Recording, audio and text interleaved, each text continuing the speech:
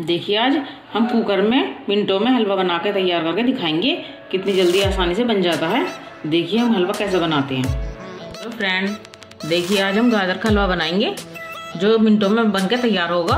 हमने पहले भी डाला था, वो पूरी डिटेल में डाला था। आज हम मिनटों में बनाएँगे। अगर वो हमने छील लिया है अब छील के हम इन्हें पानी में धो लेंगे साबुत को ही, और फिर हम कद्दूकस करेंगे इनको गाजरों को। और ये मिनटों में बनेगा हमारा, कुकर में बनाएँगे हमें झटपट हमने धो लिया है।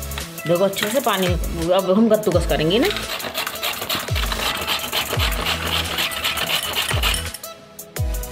देखिए सभी गाजरों को हम इस तरह से कस लेंगे धीरे धीरे देखो इसमें हमारा पीला भाग नहीं है तो सही है हमारी गाजर।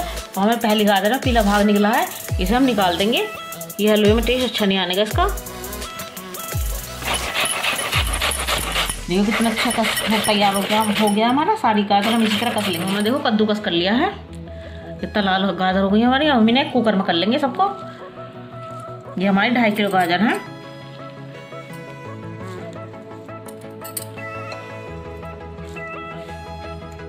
हमने कुकर में कर लिया है। अब हम गैस चालू कर लेंगे हमने गैस पर रख देंगे।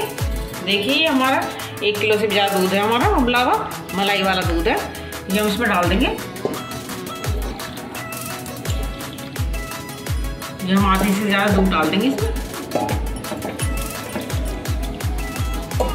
इसमें हमने गैस पर रख दिया है, इसमें दूध डाल दिया है। हमने ढक्कन लगा देंगे। अब हम चार सीटी लगाएँगे इसमें। तो हमारे गाजर अच्छे से उबल भी जाएँगी। और भी कर देंगे हम आप खोल के। कितने अच्छी गाजर का हलवा तैयार होएगा हमारा आप भी जिसे नहीं आता, वो भी मिनटों में बना सकते चीनी खुल गई है इसमें। कितना अच्छा कलर आ गया है। अब इसके इलायची कूट ली है हमने। इलायची पाउडर डाल देंगे। अच्छी खुशबू आ जाएगी हमारे। और घी भी डाल देंगे। तीन से चार चम्मच घी डाल देंगे।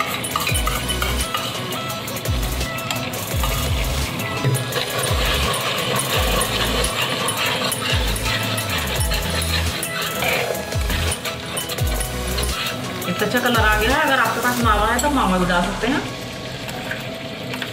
हम इसमें 200 ग्राम मावा डालेंगे।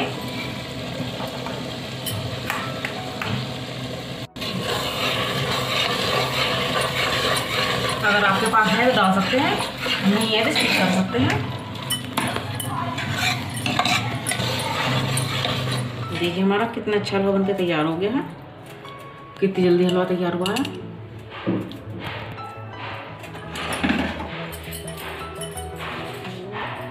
कितनी जल्दी कुकर में हलवा बनकर तैयार हो गया है।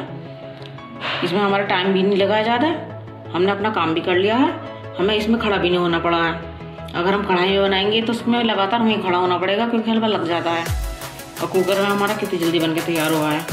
आपको जिस तरह से अच्छा लगे, आप उस तरह से बना सकते हैं। कढ़ाई का हमने डाल रखा है वीडियो पे। ये हम अब अब डालेंगे। देखिए आपको कौन सा हलवा अच्छा लगता है, उसी तरह से बनाइएगा। देखो कितना रंग भी कितना अच्छा आया, हमारा कलर कितना अच्छा है हलवे का।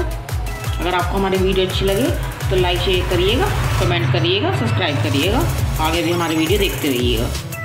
नमस्कार।